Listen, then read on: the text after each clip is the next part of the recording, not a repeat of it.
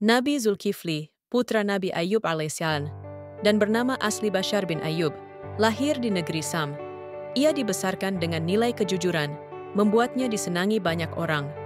Sifat sabar yang diwarisi dari ayahnya membuatnya dikenal sebagai salah satu nabi yang penyabar. Surat Al-Anbiya ayat 85 menggambarkan Nabi Zulkifli sebagai salah satu nabi yang penyabar.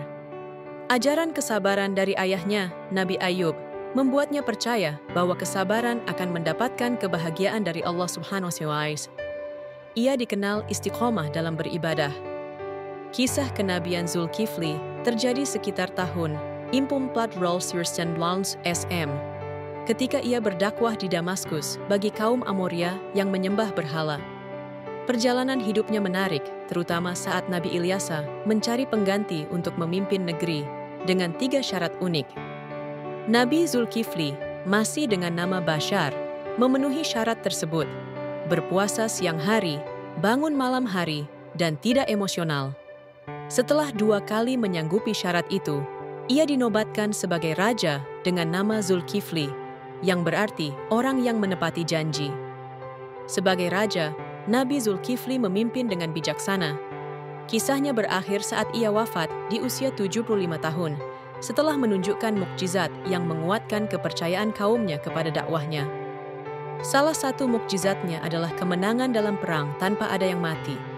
Saat kerajaan Sem diserang, Zulkifli berdoa agar kaumnya menang tanpa korban jiwa. Doa tersebut dikabulkan dan kemenangan diraih tanpa ada yang meninggal.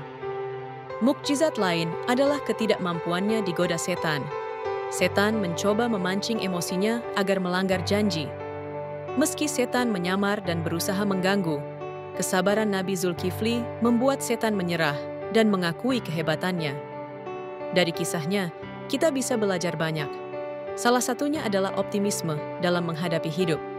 Nabi Zulkifli menunjukkan keberanian dan keyakinan saat menerima tantangan menjadi raja dengan syarat yang berat. Menepati janji adalah pelajaran penting lainnya.